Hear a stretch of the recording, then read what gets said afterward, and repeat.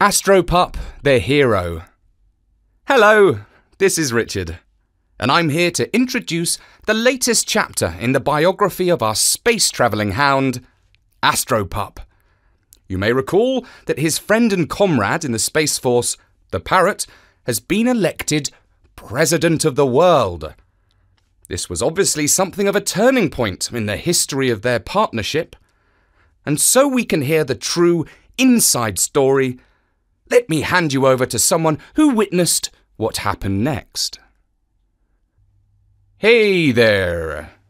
Surprised? Perhaps you weren't quite expecting me. And no, I'm not gonna say bow wow or woof woof for you. In case you can't quite place my voice, I'd better remind you. I'm Marlowe.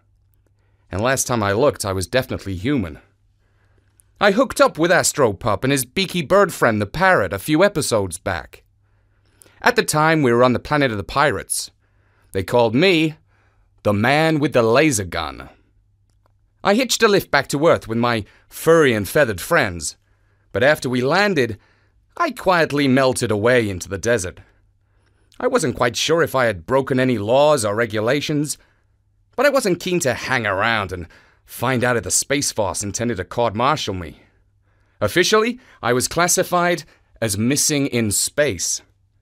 But you'd only know that if you have access to the top secret files about my mission.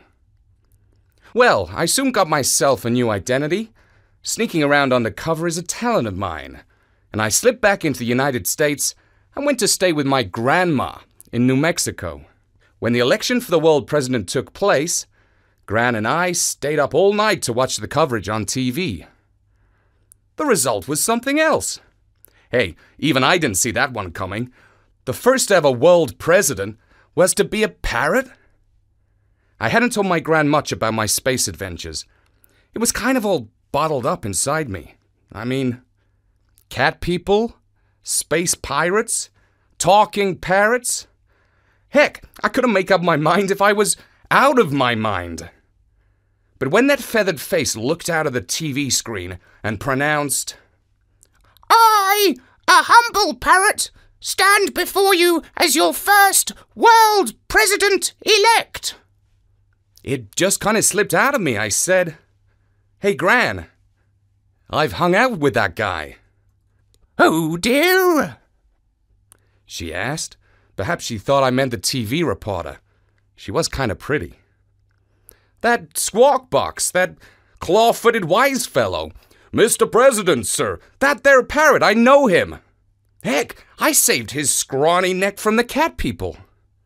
Say, Marlowe, you do hang out with some low life, commented my gran. Hey, even my gran calls me Marlowe. I do have a first name, you know, but I've trouble remembering it sometimes. After I'd let go of that first fact that I had traveled in space with a parrot, the rest of the story was begging to pour out of me. It was no use telling it to Gran. She found all this talking animal stuff too way out.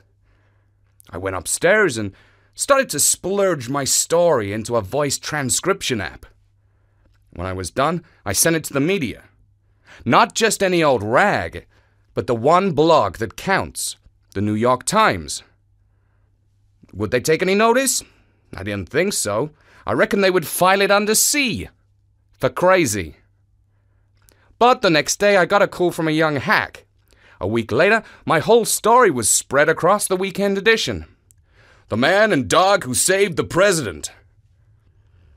Yeah, I didn't leave out the role played by Astropup in the whole affair.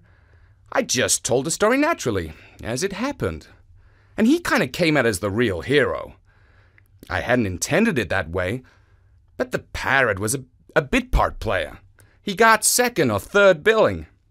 In fact, I might have given the impression that he was kind of, well, an irritating hanger on.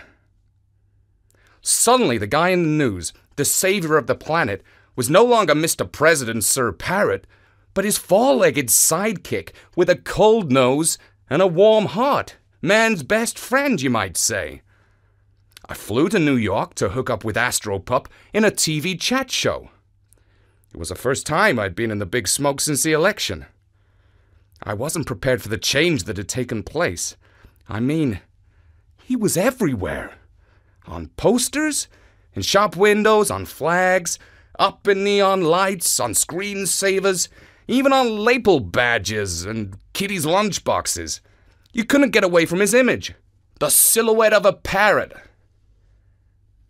This parrot propaganda turned my guts.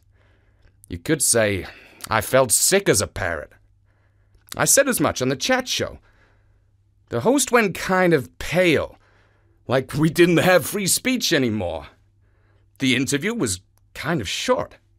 They soon switched to a mum of 13 kids who had written a musical about her life that was opening on Broadway. So I went back to my gran in New Mexico. I wasn't too surprised when the next day the marshals from the space agency came battering on the door. I wasn't exactly under arrest, but they gave me an invitation that might prove fatal if I refused. They blindfolded me and bundled me into a black helicopter. I sat in darkness listening to the sound of the chopper blades for some hours. When we landed and they opened up the door, I could smell the sea. They frog marched me, still blindfolded, across hot sand that I could feel through the soles of my shoes. Soon we hit the cool of the air conditioning and marble. The blindfold came off, and the light struck me in the eyeballs. I was led down corridors. The sign of that parrot was everywhere. Speakers played jungle squeaks and squawks. Then we waited outside some huge doors guarded by macho types with lasers. We had been there about two minutes when I heard the sound of panting. Barked a familiar voice. I turned round and smiled. I was looking at my old friend Astropup. I don't know why dogs always look like they're smiling. There sure wasn't much to smile about in our predicament, but the sight of this ever genial animal did my heart good.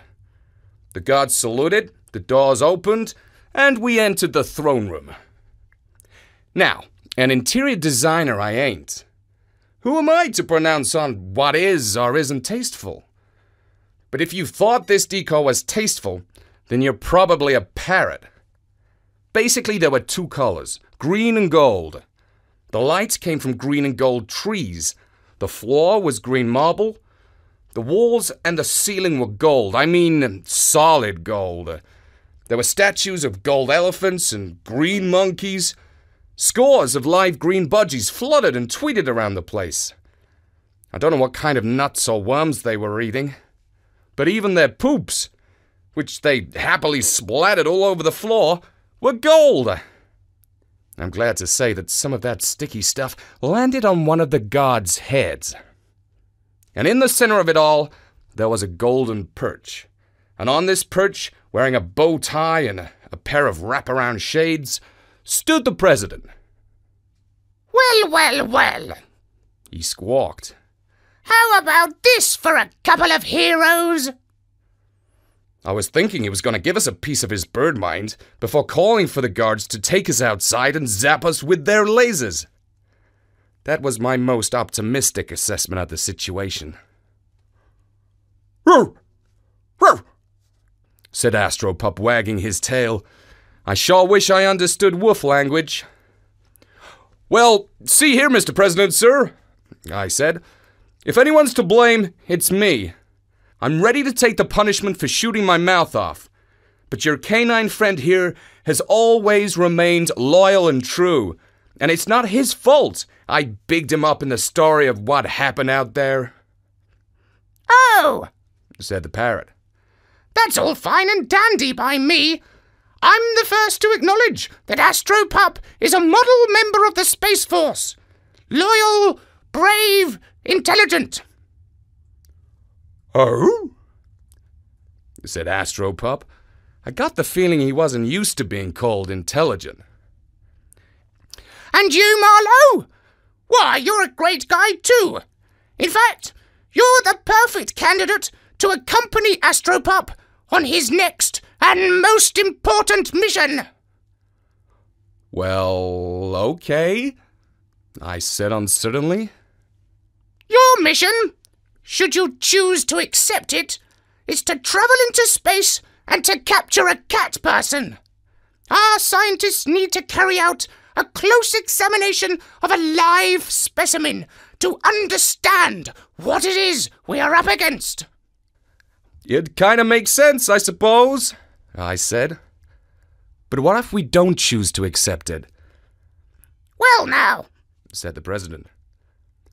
that is a good question, because you see, there isn't any other choice.